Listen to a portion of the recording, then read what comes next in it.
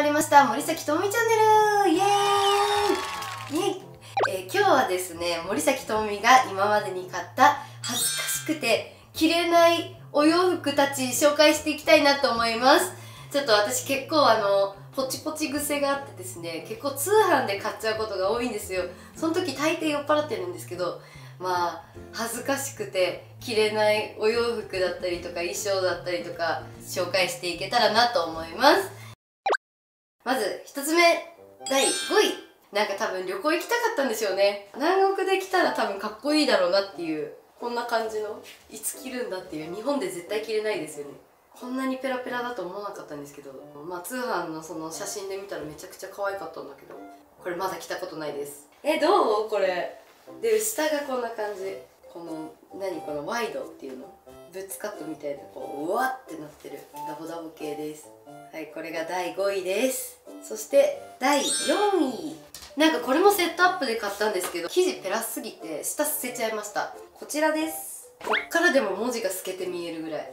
可愛いなと思ってセットアップでこれジャージで着てたら可愛いなと思って買ったんですけどなかなかスケスケすぎてブラジャーとかめっちゃ透けちゃうから着れないなって思って。こちらちょっとプレゼントでもしようかな。私のサイズだとちょっとおっぱいパーンなっててこんなんなるんですよ。着たらこんなウエスト出てであのまたズボンがここら辺だからめっちゃお腹出ちゃって恥ずかしい。これが第4位です。そして第3位からちょっとジャンルが変わってくるんですけどこんなはずではなかったっていう衣装を紹介します。第3位はこちらです。じゃじゃんスケスケブラ。こんなこれは着れないな。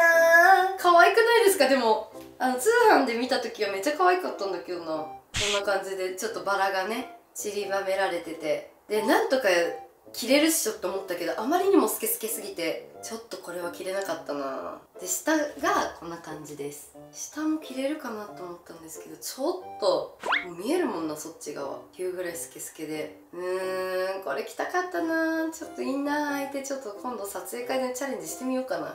でもやっぱ可愛いなこうやって見ると。可愛いです。第3位です。恥ずかしい。着れない。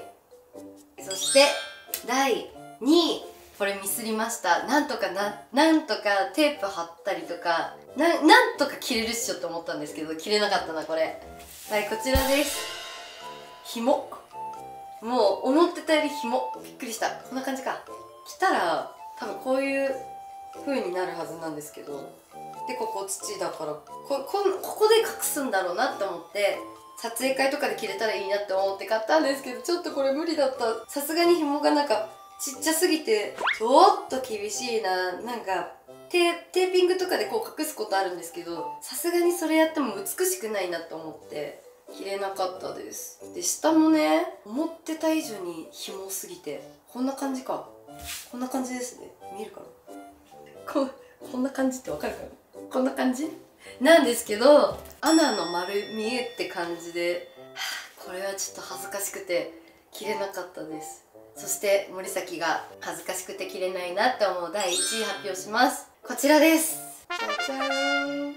もうこれ多分買ってから2年ぐらいあの温存してるんですけど一向に着る勇気が出ないですこれ。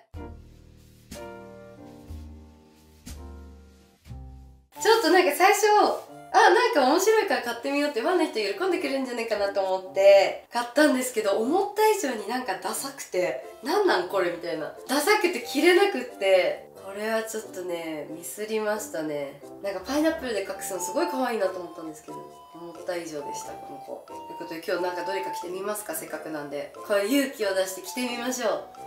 じゃあせっかくなんでどうしよう。でもバーサレットまた怖いからな。着替えましたはいどうですか？ちょっと意外とななんだろう海外とか海とかでめっちゃインスタ女子やってそうな。どうですか？えこれどう？海外とかだったら全然着たいなと思ったんですけど日本でどうなんだろう？でも着てる分にはすごい楽。っていうか意外とあの着てみるもんですね。え全然思ってた以上になんかしっくりはきます。えどうどう？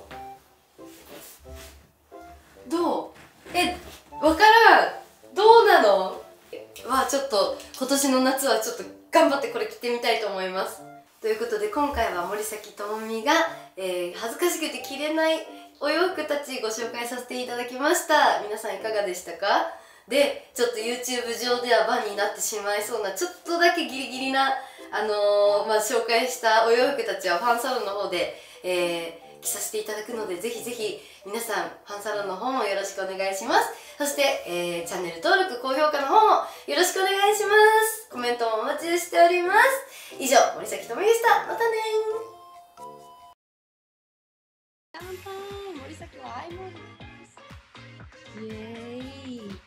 もともとなんかそそれ合わせて10年間こういう仕事しかしてこなかったからそれじゃないところ本当にもう普通な感じの生活がいかがでしょうかこれ。じゃあ1分間、えー、撮影していきたいと思います。イエーイ。